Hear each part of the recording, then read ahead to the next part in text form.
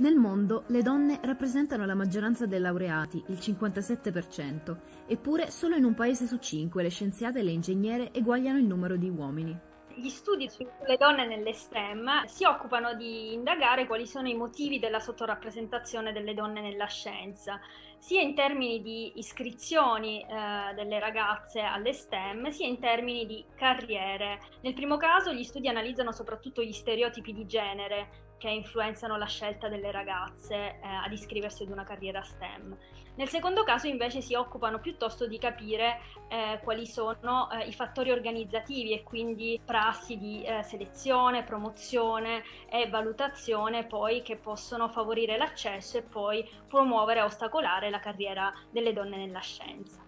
La terza area di ricerca eh, si occupa invece della percezione pubblica eh, della scienza e delle differenze di genere nella percezione pubblica di alcune tecnologie e in quest'area è anche nata una riflessione su nuovi modi di includere soggetti storicamente svantaggiati, eh, perché si è visto che i soggetti che tipicamente partecipano alla scienza, per esempio alle attività di citizen science, eh, hanno un certo profilo, sono maschi, eh, bianchi, con eh, un livello di istruzione e uno status socio-economico medio-alto.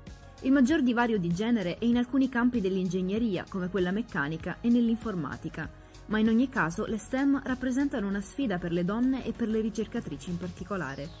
Una donna non è facile fare questo tipo di lavoro perché è un lavoro abbastanza totalizzante e quindi è molto difficoltoso conciliare poi il lavoro con quelle che sono esigenze più personali legate chiaramente alla famiglia forse questo purtroppo al giorno d'oggi ancora seleziona un po' le persone che mantengono una certa costanza e assumono dei ruoli eh, un po' più importanti. Ecco.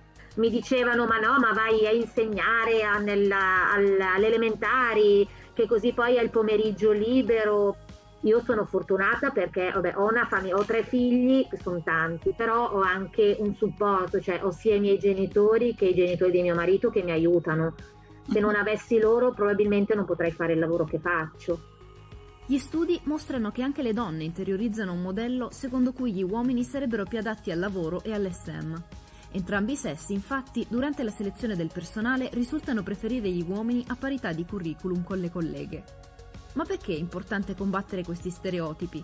Perché dovremmo volere più donne nelle STEM? L'argomento principale che viene portato a sostegno di un eh, aumento della partecipazione delle donne nelle STEM è quello opportunistico strumentale, ossia più donne nella, nella scienza comporta eh, una, eh, un beneficio all'economia, comporta uno sviluppo economico eh, più, più, forte. In realtà eh, questi studi sono, eh, poggiano su basi non sempre, mh, mm, non sempre molto solide e soprattutto portano a dei risultati a volte in contrasto tra di loro.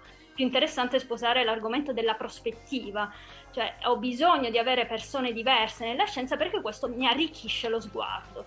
Anni fa un'azienda progettò cinture di sicurezza airbag facendo dei test soltanto con gli uomini e questo eh, portò l'azienda a dover riprogettare perché non aveva considerato che alla guida potessero, cioè, potessero esserci donne eh, incinta. Quindi quella cintura e quell'airbag che aveva progettato erano dannose per la madre e il bambino. L'altro esempio che è molto attuale oggi è quello della medicina di genere ma come adesso abbiamo visto quanto le differenze di genere siano importanti, per esempio nel caso del sistema immunitario, dell'esposizione ai, eh, ai diversi fattori di rischio che hanno uomini e donne. Quindi la medicina di genere, soprattutto negli ultimi anni, ha spinto per esempio al fatto che nei trial clinici fossero presenti anche le donne. Prima non era così e i risultati venivano generalizzati anche alle donne. Ehm, e quindi avere questo sguardo ha portato a fare delle riflessioni ulteriori e quindi ha arricchito la generazione della, della conoscenza scientifica. Credo fermamente nella qualità del lavoro e della presenza delle donne e mi auguro che finalmente arrivino ai vertici della nostra società, in tutti i campi. Umberto Veronesi